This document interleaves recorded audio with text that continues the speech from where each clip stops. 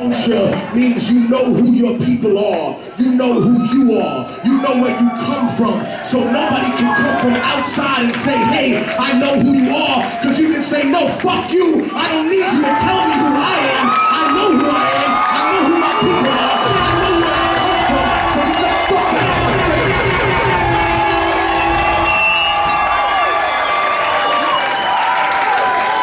I love y'all.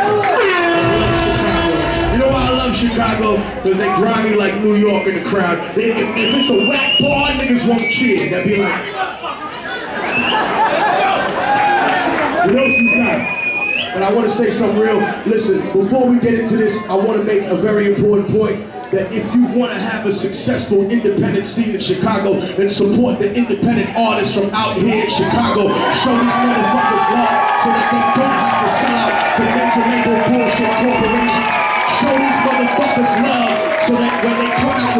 it's supported by the local community in Chicago. I love y'all motherfuckers.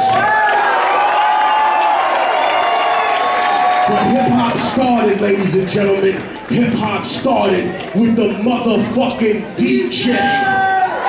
But right now, I want you to make some noise for the world famous, the Ten Finger Assassin, Rebel on DJ G.I. Joe.